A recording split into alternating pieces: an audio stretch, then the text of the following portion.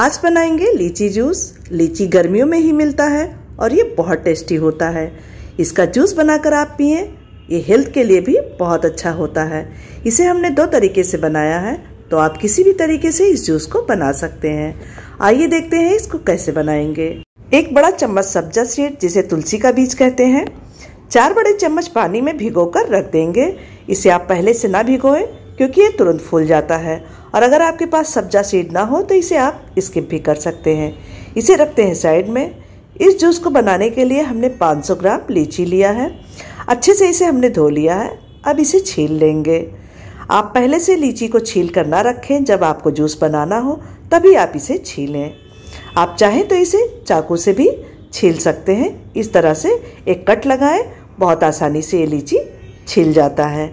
तो सारे लीची को हमने छील करके तैयार कर लिया है। अब इसे हम डालेंगे ब्लेंडिंग जार में।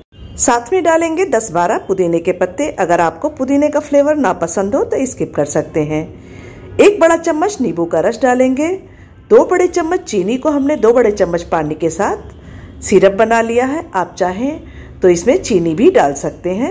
एक चम्मच काला नमक डालेंगे और इसमें बर्फ़ थोड़ा ज़्यादा डालेंगे, क्योंकि इसमें हम पानी बिल्कुल नहीं डालेंगे। इससे जूस जो हमारा बनेगा बिल्कुल ठंडा बनेगा। हमने इसे बहुत अच्छे से ब्लेंड कर लिया है। अब एक बड़े छन्नी में ट्रांसफ़र करेंगे। थोड़ा सा पानी मिक्सी में डालेंगे और इसे भी डाल करके बहुत अच्छे से इसे छान लेंगे। छान लेने से लीची के रेसे और पुदीना के पत्ते के रेसे निकल जाएँगे, जिससे जूस हमारा बहुत अच्छा बनेगा। तो आप देख सकते हैं, इसे हमने बहुत अच्छे से छान लिया। इसे रखते हैं साइड में। अब ग्लास में डालेंगे दो चम्मच सब्जा सीड और ऊपर से डालेंगे लीची का जूस। और इसे गार्निश कर देंगे लीची और कटे हुए नींबू से। तो लीजिए ये हमारा जूस बन करके तैयार है। तो दूसरे गिलास में हम डालेंगे वापस से सब्जा सीड। और इसे हम आधा ही लीची के जूस से भरेंगे और आधे में हम डालेंगे सोडा वाटर। ये जूस भी पीने में बहुत टेस्टी लगता है। एक बार आप ज़रूर ट्राई कीजिए। इसे भी गार्निश कर देते हैं लीची और कटे हुए नींबू के स्लाइस से। आपको अगर बहुत ठंडा पसंद है तो ऊपर से आप थोड़ा सा बर्फ़ डाल सकते हैं। तो ये जूस हमारा सर्व करने के लिए तैयार है।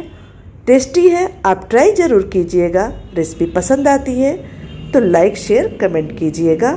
साथ में ऐसी बहुत सारी जूस की रेसिपी हमने आपके साथ शेयर किया है। सभी का लिंक हमने नीचे दिया है, आप वहाँ से देख सकते हैं। इसी तरह नई और आसान रेसिपी देखने के लिए चैनल को सब्सक्राइब कर लीजिए। मिलते हैं एक और रेसिपी के साथ। तब तक के लिए धन्यवाद।